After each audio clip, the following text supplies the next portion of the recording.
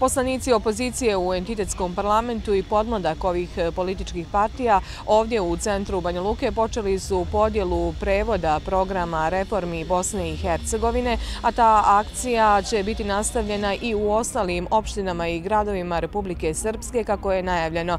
Oni naime i dalje tvrde da originalan dokument programa reformi na engleskom jeziku koji je upućen u sjedište NATO-a u Briselu, javnosti i narodnim poslanicima je ostao e, ne, nedostupan. E, takođe, također, Draško Stanivuković je najavio da će sutra u 11 časova podnijeti krivičnu prijavu protiv ministra unutrašnjih poslova Republike Srpske Dragana Lukača zbog fizičkog napada u Narodnoj skupštini, ali i zbog verbalnih prijetnji. Istovremeno informisao je javnost da je on dobio tužbu za klevetu od porodice Dodik zbog priče o više milionskim pronevjerama sa jednom jednom privatnom firmom iz Banja Luke. U nastavku izjave.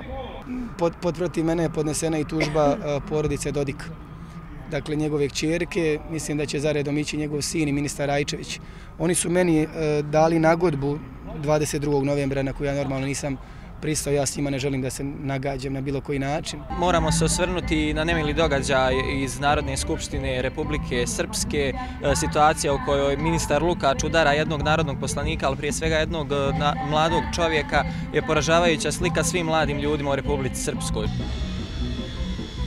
Omladinci okupljeni ovdje u Banja Luci na sebi su nosili majice sa natpisom Stop nasilju, aludirajući na fizički kontakt ministra unutrašnjih poslova Republike Srpske Dragana Lukača i narodnog poslanika Draška Stanivukovića tokom posebne sjednice Narodne skupštine Republike Srpske. Oni su još jednom ponovili da će sutra u 18 časova u Banja Luci organizovati mirne proteste građana na kojim će još jednom tražiti ostavku prvog čovjeka policije Republike Srpske ukoliko za takav skup dobiju odobrenje nadležnog centra javne bezbjednosti. Toliko za ovo javljanje.